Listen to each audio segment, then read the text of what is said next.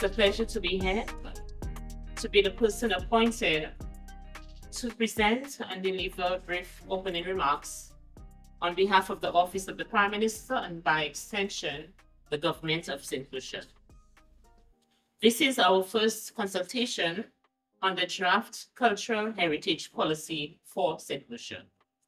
I recall that it was just a year ago, or just over a year ago, on August 2nd, 2023, that I had the privilege of addressing you at the beginning of this process, whereby you were selected and you agreed to be instrumental in the development of the draft policy on cultural heritage for our beloved country.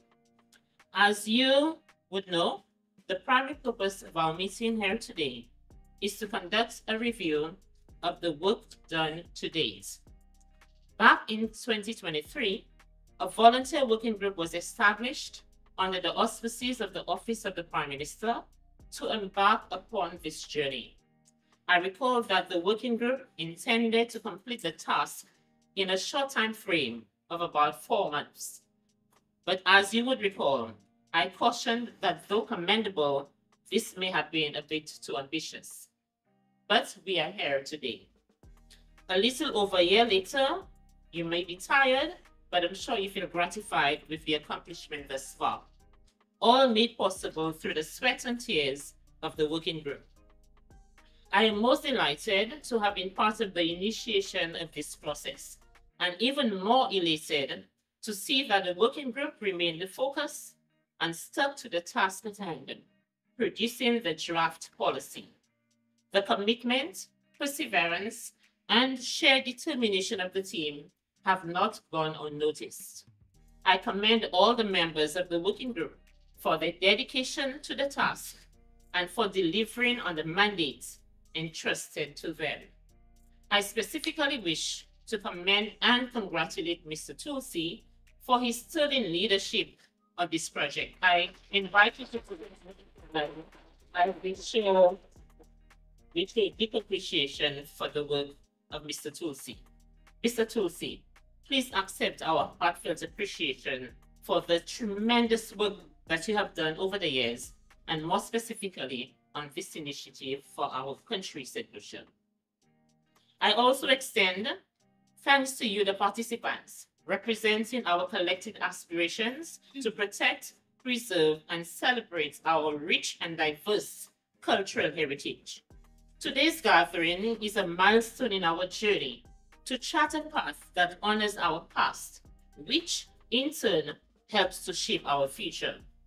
I urge you to share freely of your ideas, your expertise, your passion, and as we work together to ensure that the cultural heritage of St. Lucia not only remains vibrant, but is protected and sustained for generations to come. St. Lucia is blessed with a wealth of cultural assets, both tangible and intangible.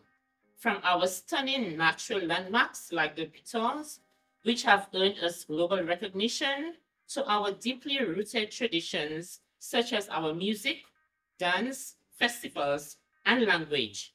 Our heritage is a powerful expression of who we are as a people. It reflects our history, our struggles, our triumphs, and our enduring spirit. Cultural heritage is not static. It evolves over time, shaped by both our experiences and external influences. It is, it is not just about monuments or artifacts. It is about language, about folklore, about customs, and about the sense of identity that binds us together as citizens. It is also about our environment, our unique biodiversity, which is intricately linked to our cultural practices and livelihoods. Therefore, protecting our cultural heritage is essential for maintaining our national identity, fostering social cohesion, and promoting sustainable development. It was with immense pride and joy that we watched in amazement as the rest of the world looked on. A young woman from humble beginnings, a warm, compassionate, confident, but strong athlete, a simple-minded but powerfully resilient personality in the person of Julien Alfred. She accomplished what millions only dream of, becoming a world champion in a highly contested race in the Paris 2024 World Olympics. And to quell any doubts, she secured not only a gold medal in the 100 meters, but also a silver medal in the 200 meters. Nothing short of a phenomenal accomplishment on the world stage from one of our very own Julien Alfred. What inspiration to the entire world, and more significantly, to all St. Lucians, young and old, here and abroad. This is a beautiful chapter in our story of what a rich heritage we have and continue to build. Perhaps this generation and the future generation will see Juju's accomplishment as a beacon of hope for a new beginning, or rather an evolution of our heritage as we conquer the world of sports.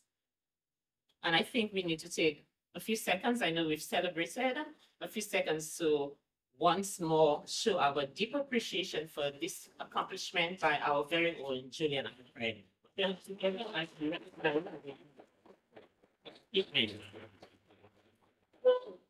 In recent years, we have seen increasing recognition globally that cultural heritage plays a central role in the development of nations. Here in St. Lucia, however, there is an urgent need to establish a framework that systematically addresses the preservation and promotion of our heritage in a holistic and sustainable manner. This draft policy is our response to that need. It is the result of extensive research, consultation, and collaboration by the members of the working group, which met about 39 times from what Mr. Tulsi informed us since its establishment, and those with whom they consulted to develop the draft policy.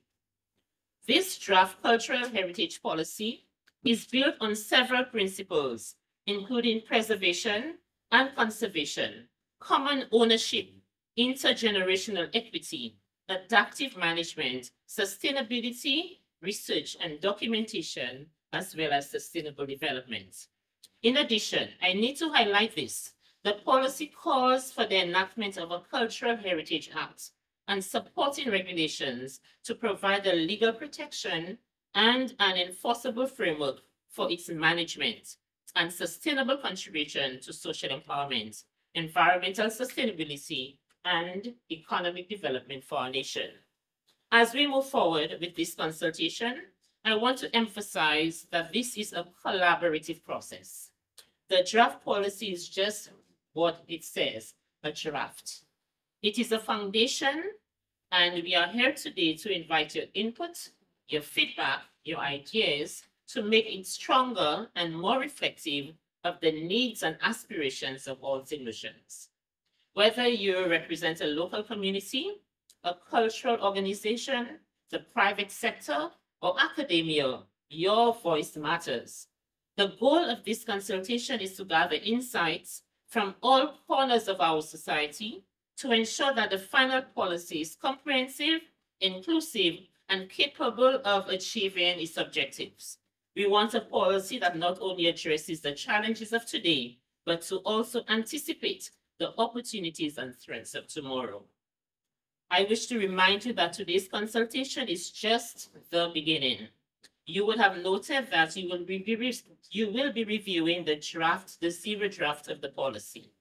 The expectation is that your inputs will trigger a review of the document into what will emerge as the first draft, which will be used to engage with stakeholders across the country, refine the policy based on the feedback we receive, and work towards its final adoption. But beyond the policy itself, we must remain committed to its implementation.